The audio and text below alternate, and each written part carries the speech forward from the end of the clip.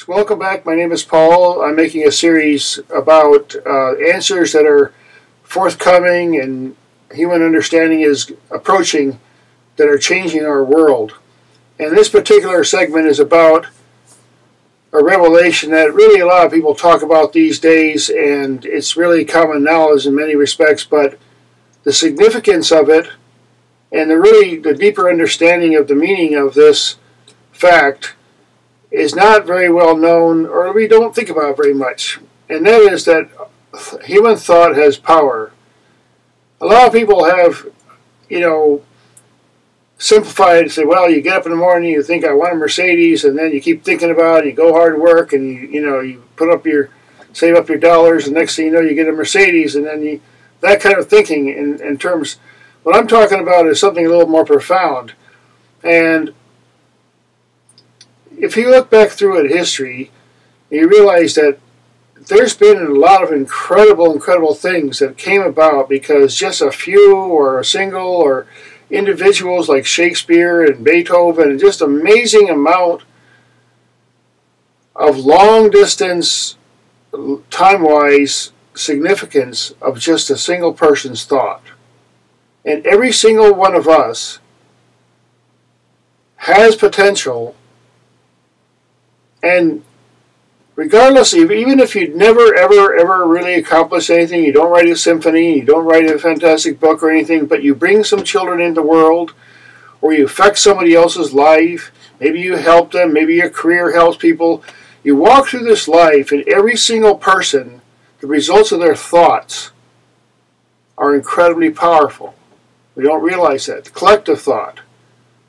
Collective thinking is an immense power.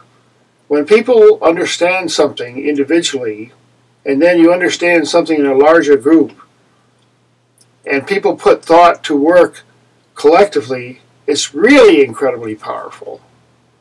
Now, what does that mean? A lot of people, okay, well, I know that, or maybe, oh, that sounds silly, or whatever the reaction. But the significance is, if we understand, look, everything that we do you know, I took computer aided drafting years ago and I know how to draw and so on. And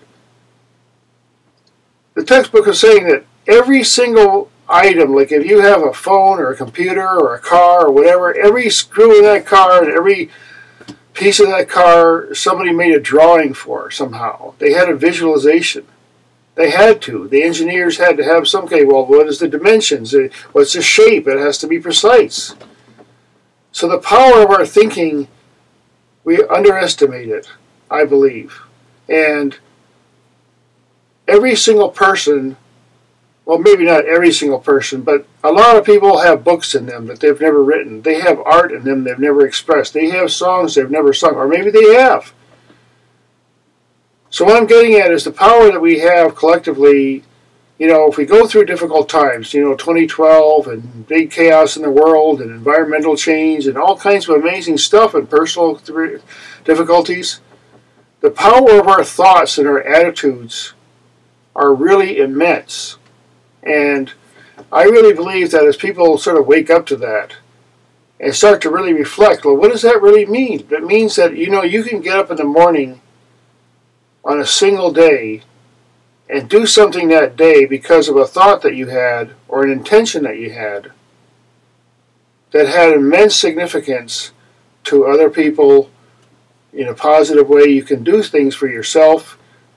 And so I really believe that this is a part of a process. I've, I've been giving a lot of videos about the change that I believe our, our planet's going through, our cosmos, our psyche, our planetary psyche. There's so much going on it's like everybody's dreams and nightmares are coming true.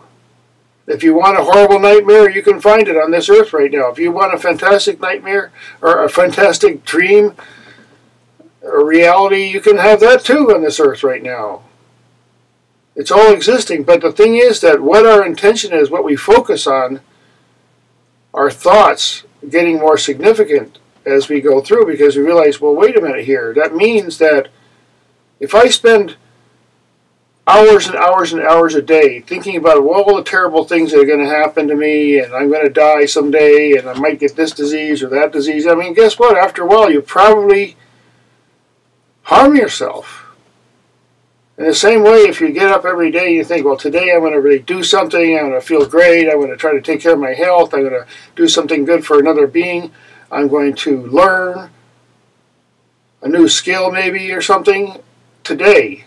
I mean, the power of that. Now, a lot of people I know realize this that are watching, and sometimes we just need inspiration because there's a lot of crap out there. There's a lot of people out there, and they know the power of thinking, and they're doing a lot of negative stuff, harmful stuff, designing war machines and designing all kinds of weird, horrible conspiracies, and people think that way. So the counter has to be look, people have to realize look, we can think completely different. I mean, every one of us can start saying, look, I'd rather have peace and creativity than conflict and destruction.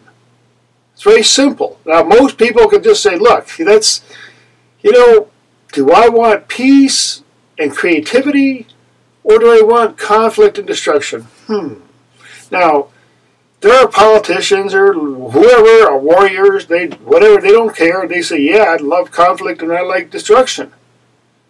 But most people in the world, most people would say, you know what, I think I'm just going to go for the creativity and the peace.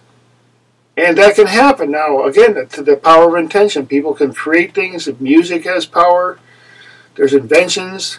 Every single person has access to infinite energy and understanding within, contact with others, and now in our technology, our civilization has all kinds of technology that's available to us to create.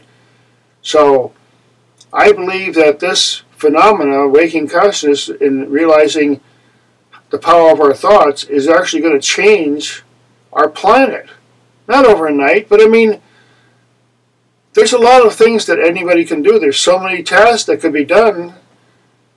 Uh, a lot of people are doing nursing or other kinds of inventions. There's all kinds of things that people can do. So I really encourage some feedback, and I'm getting a lot of interesting contacts with people now. I've gotten links and other YouTube sections. I really appreciate the feedback. So um, we're on like this big floating ball I got in the background there, a big Earth, we're floating through space, and it just puts me into perspective. I like to look at that thing and realize, you know, I'm just a little dot here, but amazingly significant in some way. So um, I look forward to making a lot more contacts and appreciate you watching.